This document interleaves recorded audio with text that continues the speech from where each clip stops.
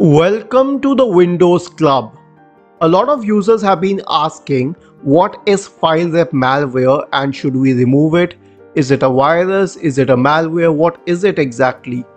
So, FileRep malware is a tag that some popular antivirus suites assign to files with low reputation scores.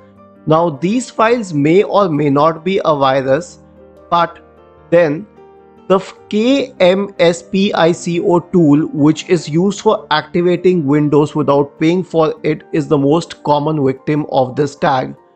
If you are using a pirated version of Windows 10, then you know the reason behind this tag and this detection and it is always advisable to use a genuine software.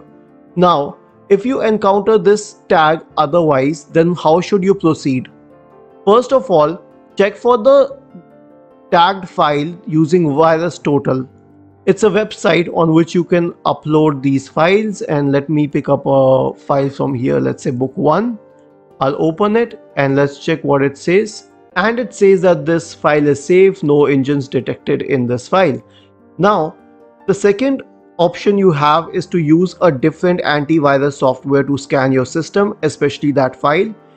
Since it is no worth buying another software, just to check whether the file contains a virus or not and not specifically removing it, you can use free antivirus softwares the same which have been explained on the Windows Club.